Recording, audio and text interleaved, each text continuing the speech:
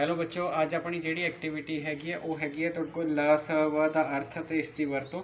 ਵਰਤੋਂ ਆਪਾਂ next activity 'ਚ ਦੇਖਾਂਗੇ, ਕਿਉਂਕਿ ਆਪਾਂ ਐਕਟੀਵਿਟੀ ਛੋਟੀ ਰੱਖਣੀ ਹੈ ਐਲ ਸੀ ਐਮ ਐਲ ਮੈਨੇ ਹੁੰਦਾ ਲੀਸਟ ਛੋਟੇ ਤੋਂ ਛੋਟਾ। ਉਹ ਤੋਂ ਬਾਅਦ ਸੀ ਸੀ ਮੈਨੇ ਕਾਮਨ ਕਾਮਨ ਮੈਨੇ ਸਾਂਝਾ ਮਲਟੀਪਲ ਮੈਨੇ ਗੁਣ। ਸਭ ਤੋਂ ਪਹਿਲਾਂ ਮਲਟੀਪਲ ਸਮਝ ਲਓ। ਜੇ ਮੰਨ ਲਓ 3 ਹੈ 3 ਦਾ ਪਹਾੜਾ ਪੜ੍ਹਦੇ ਹੋ 3 3 ਦੁਣੀ 6 3 ਤੀਏ 9 ਇਹ ਸਾਰੇ 3 ਦੇ ਮਲਟੀਪਲ ਹੁੰਦੇ ਆ 3 ਦੇ ਗੁਣ ਚ ਹੁੰਦੇ ਗੁਣ ਚ ਅਤੇ ਗੁਣਨਖੰਡ ਵਿੱਚ ਜਿਹੜਾ ਹੈਗਾ, ਜਦ ਤੱਕ ਬੱਚੇ ਨੂੰ ਫ਼ਰਕ ਨਹੀਂ ਨਾ ਪਤਾ, ਸਾਰਾ ਕੰਮ ਖਰਾਬ ਹੋ ਜਾਂਦਾ ਹੁੰਦਾ। ਠੀਕ ਹੈ, ਜੇ ਗੁਣਨਖੰਡ ਲੈਣਾ ਹੈ, ਜੇ 6 ਦੇ ਗੁਣਨਖੰਡ ਲੈਣੇ ਆ, ਤਾਂ ਉਹ ਚੀਜ਼ਾਂ ਲੈਦੀਆਂ ਜਿਹੜੀਆਂ 6 ਨੂੰ ਭਾਗ ਕਰਨ। ਮਾਨੇ 6 ਨੂੰ ਇੱਕ ਭਾਗ ਕਰਦਾ ਹੈ।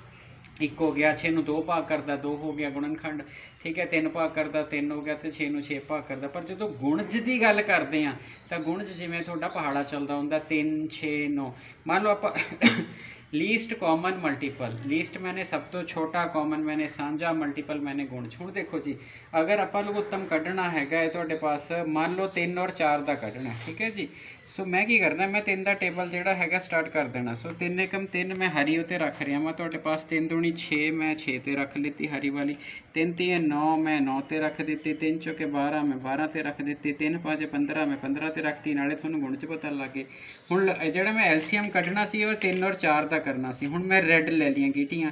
ਹੁਣ ਮੈਂ 4 ਦਾ ਟੇਬਲ ਸਟਾਰਟ ਕਰੂੰਗਾ। 4 ਏਕਮ 4 ਠੀਕ ਹੈ ਜੀ? 4 ਦੂਣੀ 8 4 ਤੀਏ 12 ਹੁਣ ਤੁਸੀਂ ਖਾਸੀਅਤ ਦੇਖੋ ਕੀ ਹੈ। 12 ਵਾਲਾ ਜਿਹੜਾ ਨੰਬਰ ਸੀਗਾ, ਉਹਨੂੰ ਦੋਨੋਂ ਤਰ੍ਹਾਂ ਦੀਆਂ ਡੀਟੀਆਂ ਨੇ ਢੱਕ ਲਿਆ ਤੁਹਾਡੇ ਕੋਲ। ਇਹਦਾ ਮਤਲਬ ਕੀ ਹੋ ਗਿਆ? ਸਭ ਤੋਂ ਪਹਿਲਾਂ ਆਇਆ 12 ਤੋਂ ਪਹਿਲਾਂ ਤਾਂ ਕੋਈ ਨਹੀਂ ਆਇਆ ਨਾ।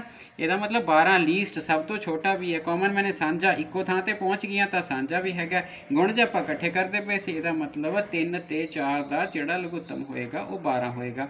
ਚਲੋ 3 ਤੇ 5 ਦਾ ਲੈ ਕੇ ਦੇਖੀਏ, ਠੀਕ ਹੈ ਜੀ। ਪਹਿਲਾਂ 3 ਦਾ ਪੜਿਆ 3 6 9 12 ਠੀਕ ਹੈ। 12 ਤੋਂ ਬਾਅਦ 15 ਠੀਕ ਹੈ ਜੀ।